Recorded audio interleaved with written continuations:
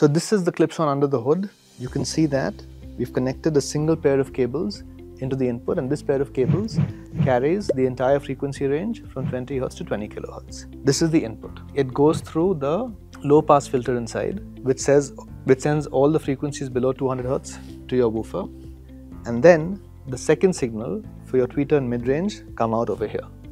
And here you now see we have two separate connections, one going to the tweeter and one going to the mid-range. So that's how all three drivers are separated even though the input signal is the entire frequency spectrum from 20 Hz to 20 kHz. So I just mentioned a three-way speaker has two crossovers, but what is a crossover?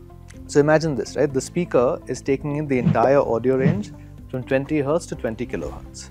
Your tweeter reproduces frequencies from 2000 Hz to 20 kHz.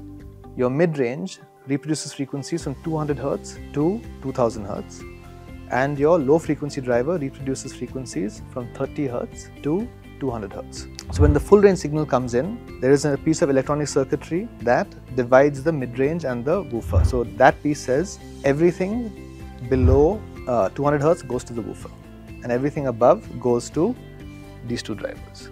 Then there is a second piece of circuitry that says everything below 2000 Hz comes to the mid-range and everything above 2000 Hz goes to the tweeter. So there are two pieces of electronic circuits, one after the other, one that sends everything lower than 200 to the woofer and everything above that to these two, and a second one that further separates your tweeter and your mid-range. And those two pieces of electronic circuitry are called crossovers. In the case of a two-way speaker, you only need one piece of circuitry because that says everything below 1000 hertz goes to the woofer, everything above 1000 hertz goes to the tweeter. So therefore a two-way speaker has only one crossover. And so again, so what I talked about right now was a bit of theory behind speaker terms and speaker design. But when you're buying the speaker for your home, like I said earlier in the video, there's nothing to substitute coming in and having a listen. And you'd be surprised with what you thought you would like and what you actually end up liking. So always come in, go to a demo showroom, go to as many showrooms as you, as you can, figure out the kind of sound you like, and that's how you buy a speaker that you can enjoy for generations to come.